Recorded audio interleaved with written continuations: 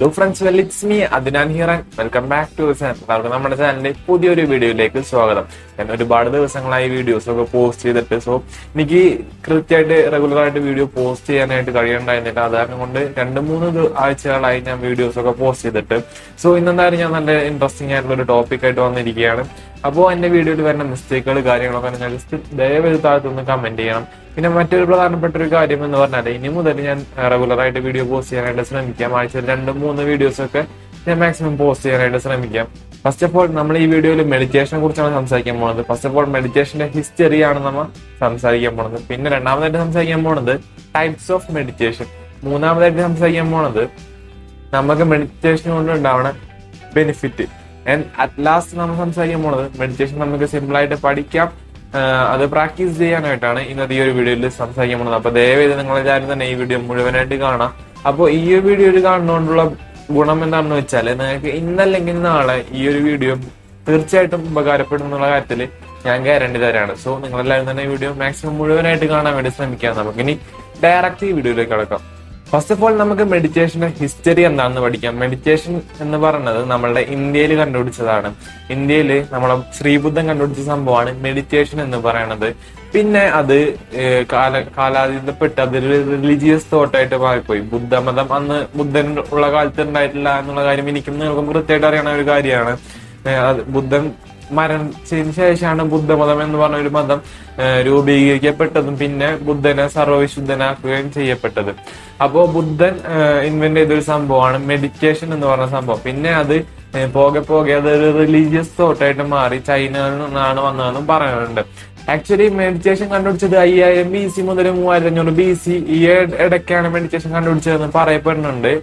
ഈ ടൈമിലാണ് ബുദ്ധൻ ജീവിച്ചിരുന്നത്. എനിക്ക് മാത്രമല്ല നിങ്ങൾക്ക് എല്ലാവർക്കും അറിയാവുന്ന കാര്യമാണ്. അപ്പോൾ മെഡിറ്റേഷൻ കണ്ടുപിടിച്ചത് അങ്ങനെയാണ്. പിന്നെ മെഡിറ്റേഷന്റെ ഒരു ഹിസ്റ്ററി എന്ന് പറഞ്ഞത്.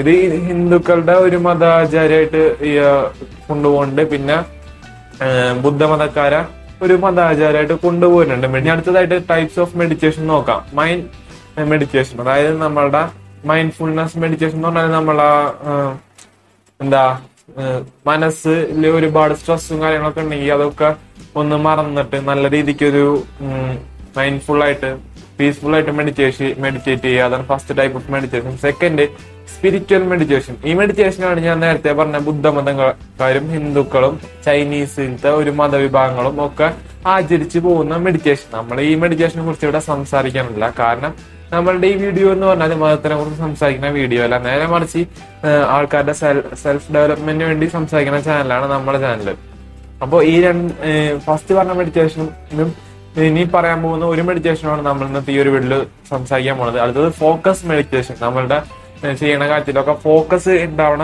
മെഡിറ്റേഷനാണ് നമ്മൾ ഇന്നത്തെ ഈ ഒരു വീട്ടിൽ സംസാരിക്കാൻ വേണ്ടി പോകുന്നത്. അപ്പോൾ നമ്മളുടെ ഈ രണ്ട് ടോപ്പിക് കഴിഞ്ഞു. ഒന്നാമത്തെ എന്ന് പറഞ്ഞാൽ ഹിസ്റ്ററി ഓഫ് മെഡിറ്റേഷൻ രണ്ടാമത്തത് എന്ന് പറഞ്ഞാൽ നമ്മളുടെ ടൈപ്സ് ഓഫ് മെഡിറ്റേഷൻ മൂന്ന് ആക്ച്വലി പന്ത്രണ്ട് ടൈപ്പ് ഓഫ് മെഡിറ്റേഷൻ ഉണ്ട്. മൂന്ന് ടൈപ്പ് ഓഫ് മെഡിറ്റേഷൻ ആണ് എടുത്ത് എടുത്ത് പറയണത്. നമ്മൾ അടുത്തത് പറയാൻ പോകുന്നത് ബെനിഫിറ്റ്സ് ഓഫ് മെഡിറ്റേഷൻ ആണ്.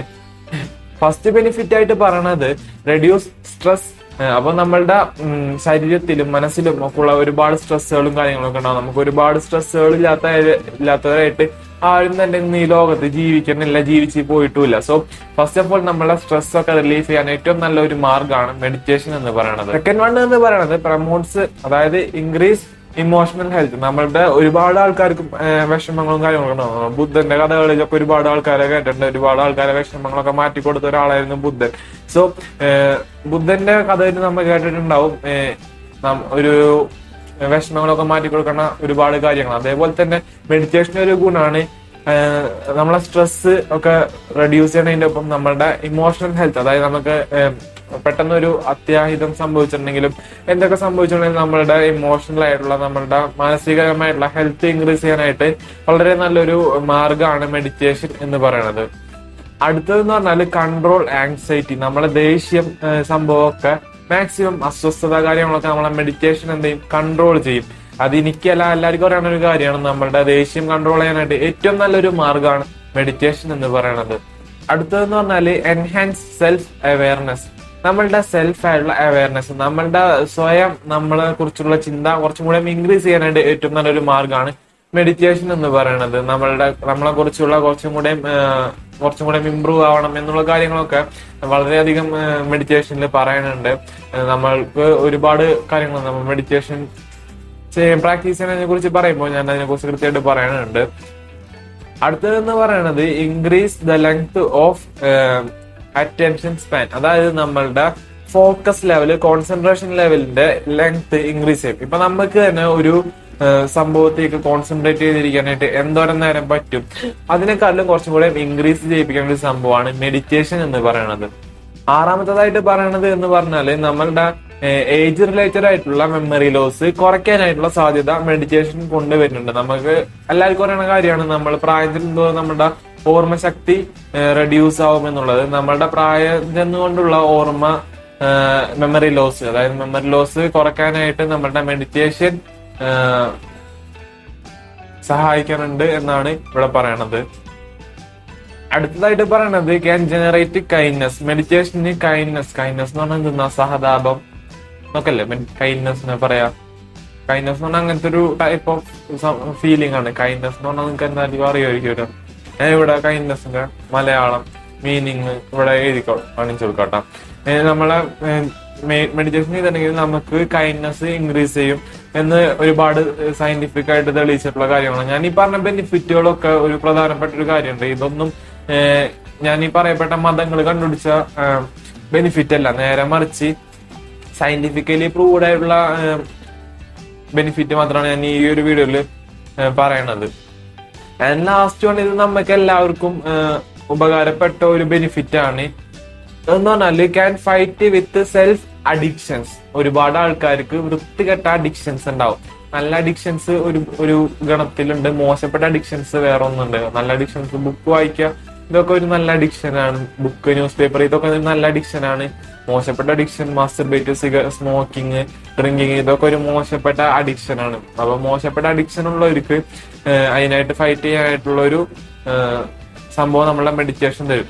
ഇനി ലാസ്റ്റ് ആയിട്ട് നമ്മൾ സംസാരിക്കാൻ പോകുന്നത്.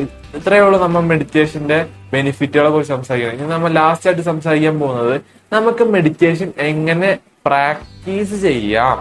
സിമ്പിൾ ആയിട്ടുള്ള മെഡിറ്റേഷൻ നമ്മൾ ബുദ്ധനൊക്കെ ഏറ്റവും കൂടുതൽ മെഡിറ്റേറ്റ് ചെയ്തിട്ടുള്ള നാൽപ്പത്തി ഒമ്പത് ദിവസമാണ് അത്രയും കാലങ്ങളൊന്നും ഞാൻ നിങ്ങളുടെ അടുത്ത് മെഡിറ്റേറ്റ് ചെയ്യാൻ പറയാനില്ല. മാക്സിമം പോയാൽ ഒരു പത്തോ അഞ്ചോ മിനിറ്റ് അത്രയും നേരം നിങ്ങൾ മെഡിറ്റേറ്റ് ചെയ്താൽ മതി. മെഡിറ്റേറ്റ് ചെയ്യുമ്പോൾ നിങ്ങൾ മാക്സിമം കണ്ണടക്കുക.